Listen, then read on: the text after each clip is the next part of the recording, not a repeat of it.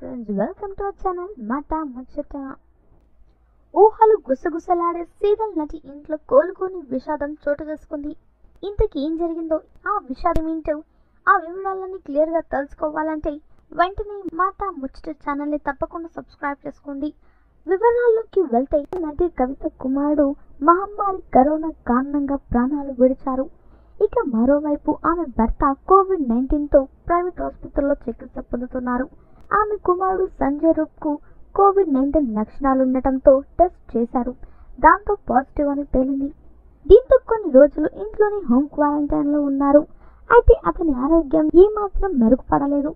ఇక వెంటనే అతన్ని ఆసుపత్రికి తరలించారు. అక్కడ చికిత్స తీసుకుంటూ కవిత కొడుకు తుది శ్వాస విడిచారు. ఇక మరోవైపు కవిత భర్త దశరథ రాజు కోవిడ్ నైన్టీన్ కారణంగా ఓ ప్రైవేట్ ఆసుపత్రిలో చికిత్స పొందుతున్నారు. కవిత కుమారుడు మరణించారని తెలిసి పలువురు టాలీవుడ్ కోలీవుడ్ మాలీవుడ్ సినీ ప్రముఖులు సంతాపం వ్యక్తం చేస్తున్నారు. నటి కవిత కేరళ విషయానికి వస్తే కవిత చైల్డ్ ఆర్టిస్ట్గా సినిమాలోకి అడుగుపెట్టారు.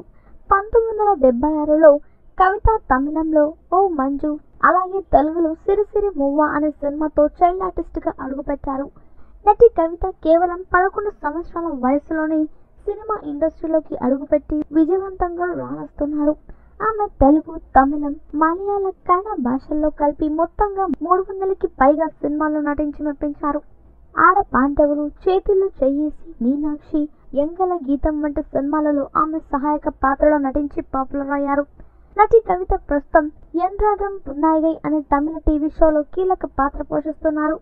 అలాగే ఈమె జీ తెలుగులో ప్రసారమయ్యే ఊహలు గుసగుసలాడే సీరియల్లో ఒక ముఖ్య పాత్ర పోషిస్తున్నట్లుగా తెలుస్తుంది. ఈ విషాద వార్త గురించి తెలుసుకున్న పలువురు సినీ ప్రముఖులు కవిత కుటుంబానికి సంతాపం తెలుపుతున్నారు. మాట ముచ్చట ఛానల్ని సబ్స్క్రైబ్ చేసుకుని పక్కన కనిపించే ఎర్రటి గంట బెల్ని కొట్టడం మర్చిపోకండి. Thanks for watching